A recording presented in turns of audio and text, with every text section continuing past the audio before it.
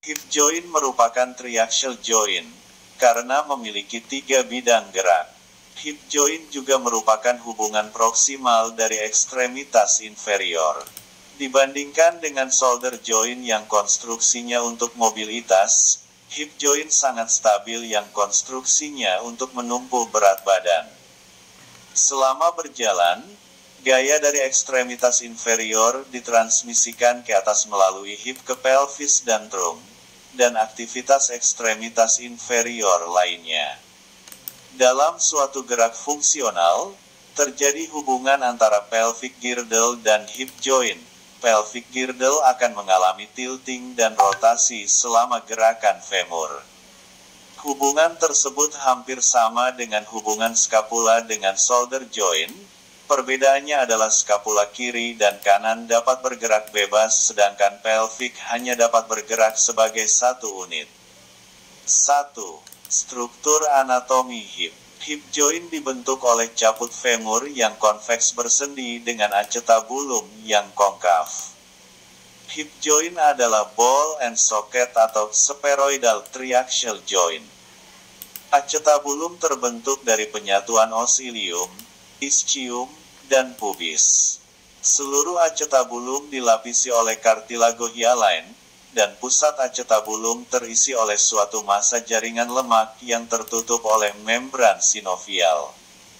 Jaringan fibrokartilago yang melingkar datar di acetabulum disebut dengan labrum acetabular, yang melekat di sekeliling margo acetabulum. Labrum acetabular menutup kartilago hyalin dan sangat tebal pada sekeliling acetabulum daripada pusatnya. Hal ini menambah kedalaman acetabulum. Acetabulum terletak di bagian lateral pelvis, menghadap ke lateral, anterior, dan inferior. Caput femur secara sempurna ditutup oleh kartilago hyalin. Pada pusat caput femur terdapat lubang kecil yang dinamakan dengan fovea capitis, tidak ditutup oleh kartilago hyalin. Caput femur membentuk sekitar 2 per 3 dari suatu bola. Caput femur berbentuk spherical dan menghadap ke arah anterior, medial, dan superior. Hip joint diperkuat oleh kapsul sendi yang kuat, ligamen iliofemoral, pubofemoral, dan ischiofemoral.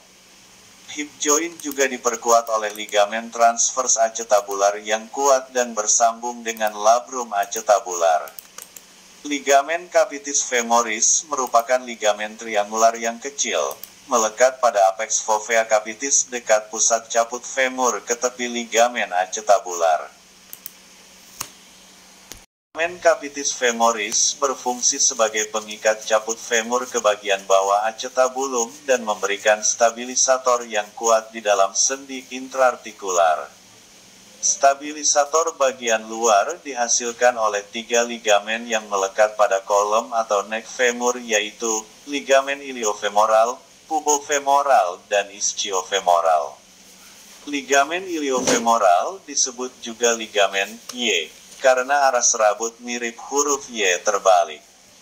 Ligamen iliofemoral memperkuat kapsul sendi bagian anterior.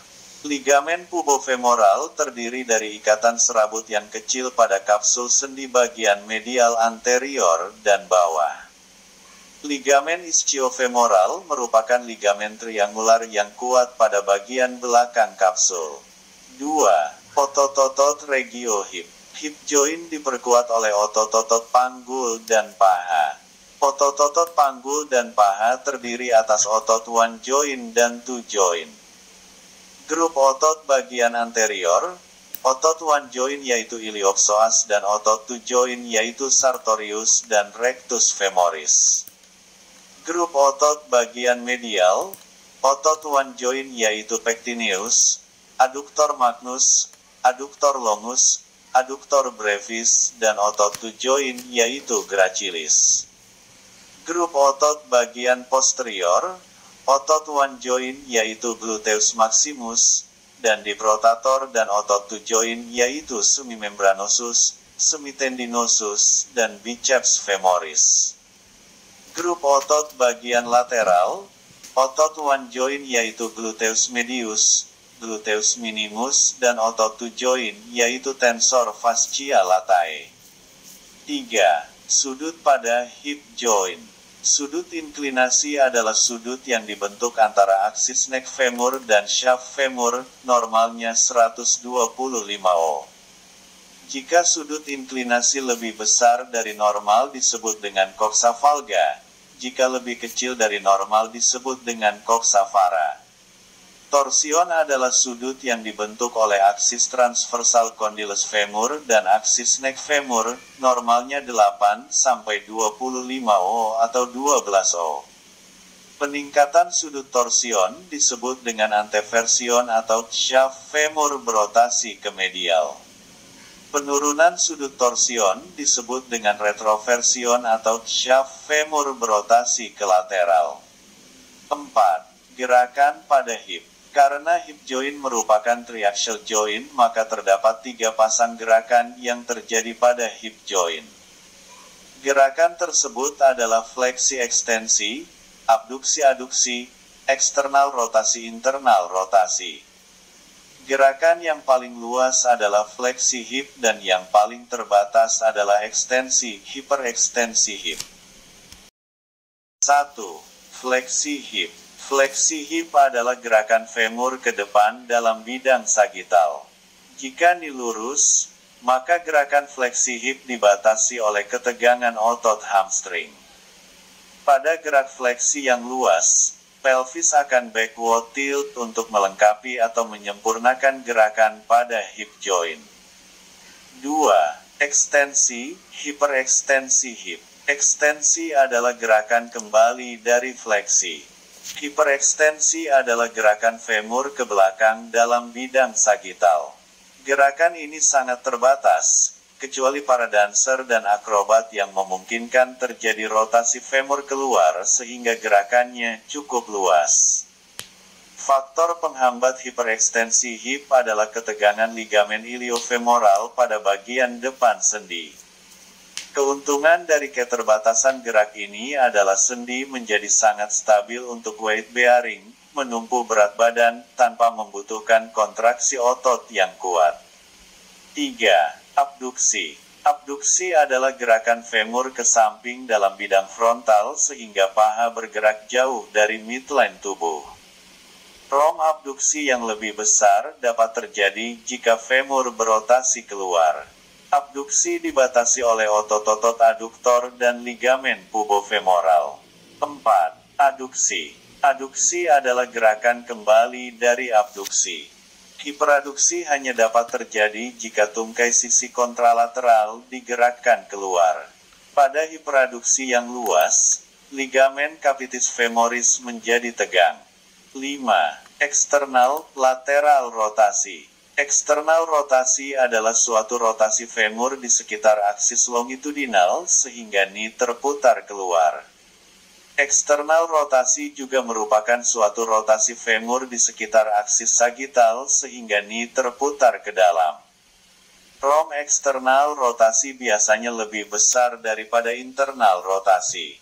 6. Internal medial rotasi Internal rotasi adalah gerak rotasi femur di sekitar aksis longitudinal sehingga ni terputar ke dalam.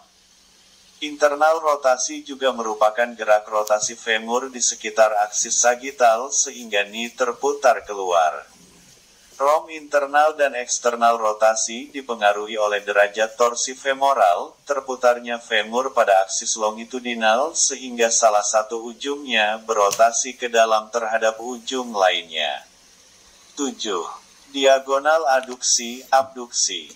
Diagonal aduksi adalah suatu gerakan ke depan dari posisi abduksi paha dalam bidang horizontal, yang diikuti oleh penurunan eksternal rotasi.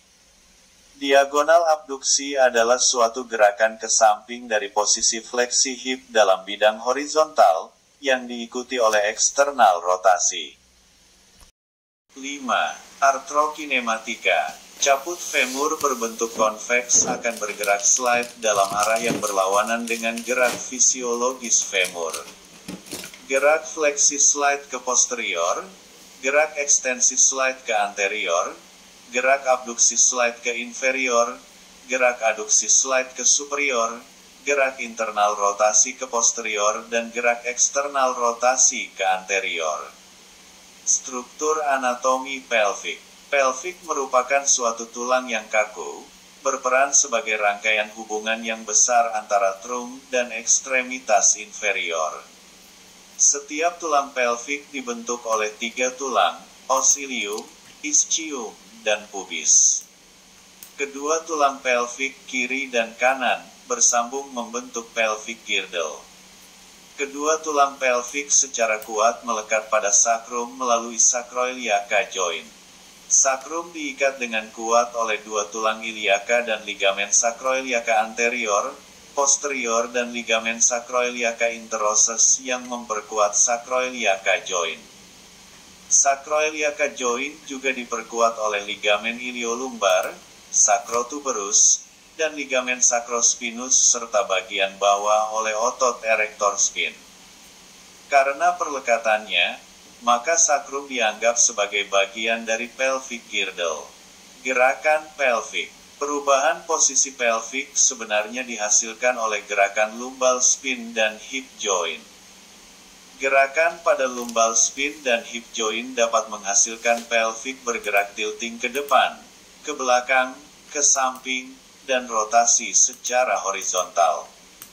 Gerakan yang terjadi pada pelvic terdiri dari forward tilt, inklinasi meningkat, backward tilt, inklinasi menurun lateral tilt, rotasi lateral twist memutar. 1. Forward tilt. Forward tilt adalah gerakan pelvic pada bidang sagital di sekitar aksis frontal horizontal sehingga simfisis pubis berputar ke bawah dan permukaan posterior sacrum berputar ke atas. Dalam forward tilt, peningkatan sudut dibentuk oleh puncak os pubis dan peningkatan deviasi sakrum serta pelvis bagian posterior menjauh dari vertikal. 2. Backward tilt Backward tilt adalah suatu gerak rotasi pelvis dalam bidang sagital sekitar aksis frontal horizontal sehingga simfisis pubis bergerak ke depan, atas dan permukaan posterior sakrum berputar sedikit ke bawah. Dalam backward tilt, sudut dibentuk oleh puncak os pubis dan penurunan horizontal serta terjadi penurunan inklinasi horizontal sakrum dan posterior pelvis. 3. Lateral tilt Lateral tilt adalah suatu gerak rotasi pelvis dalam bidang frontal sekitar aksis sagital horizontal sehingga salah satu krista iliaka turun dan yang lainnya naik. Pada lateral tilt ke kiri, Krista iliaka sisi kiri akan turun dan sisi kanan akan naik. 4. Rotasi lateral twist. Rotasi lateral twist adalah suatu gerak rotasi pelvis dalam bidang horizontal sekitar aksis vertikal longitudinal. Dalam rotasi, pelvis bagian depan berputar ke arah belakang. Hubungan fungsional hip, pelvic dan spin. Secara arsitektur, pelvis terletak strategis karena merupakan penghubung trung dengan ekstremitas inferior sehingga harus saling bekerja sama pada setiap gerakan lumbal dan hip. Ketika tubuh dalam posisi berdiri tegak, pelvis menerima berat kepala, trung, dan upper ekstremitas, kemudian mentransmisikan beban tersebut ke dua lower ekstremitas. Karena gerak pelvis bergantung pada sendi-sendi di lumbal spin dan hip, maka gerak pelvis dapat bersifat sekunder atau primer.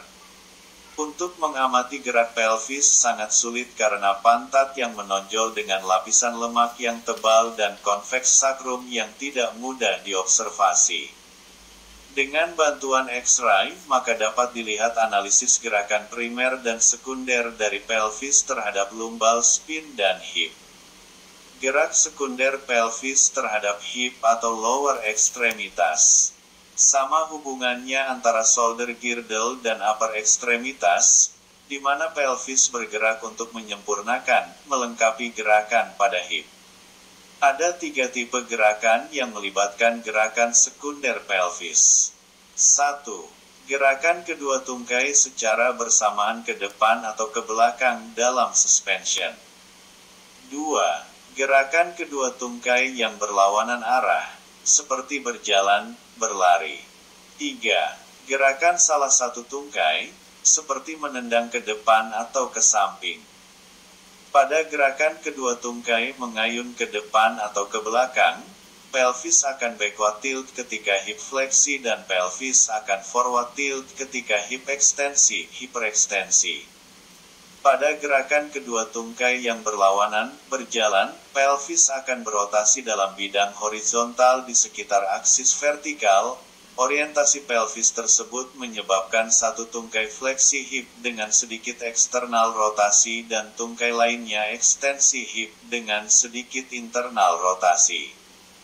Pada gerakan satu tungkai ke samping abduksi hip, pelvis akan lateral tilt.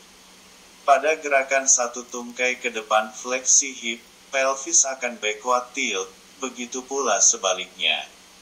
Adanya perubahan posisi pelvis pada setiap gerakan hip bertujuan untuk menyempurnakan atau menguntungkan gerakan hip joint. Lumbopelvic rim Suatu gerakan koordinasi antara lumbal spin dan pelvis terjadi selama fleksi trung sampai jari-jari tangan mencapai lantai tanah. Ini disebut lumbopelvic rim. Pada saat kepala dan upper trunk punggung atas mulai fleksi, maka pelvis akan bergeser ke posterior backward tilt untuk mempertahankan pusat gravitasi seimbang di atas dasar tumpuan. Ketika trunk berlanjut ke fleksi, maka dikontrol oleh otot ekstensor spin sampai sekitar 45 O. Kemudian ligamen-ligamen bagian posterior akan tegang dan orientasi facet dalam bidang frontal, sehingga memberikan stabilitas pada vertebra dan otot relaks. Pada akhir ROM, seluruh segmen vertebra distabilisasi oleh ligamen-ligamen posterior dan facet joint.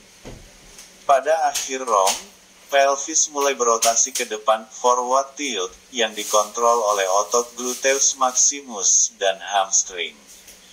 Kemudian pelvis melanjutkan rotasi ke depan sampai pemanjangan penuh otot ekstensor spin dan hamstring tercapai. Akhir ROM dipengaruhi oleh fleksibilitas otot ekstensor spin dan fascia serta otot ekstensor hip hamstring. Pada saat trunk kembali ke posisi tegak, di awal gerakan otot ekstensor hip merotasikan pelvis ke arah posterior, backward tilt. Kemudian otot ekstensor spin memanjangkan spin ekstensi trunk dari posisi fleksi. Lumbopelvic rim dapat terganggu akibat kebiasaan postur yang jelek, keterbatasan panjang otot atau fascia, atau injuri dan gangguan propriosepsi.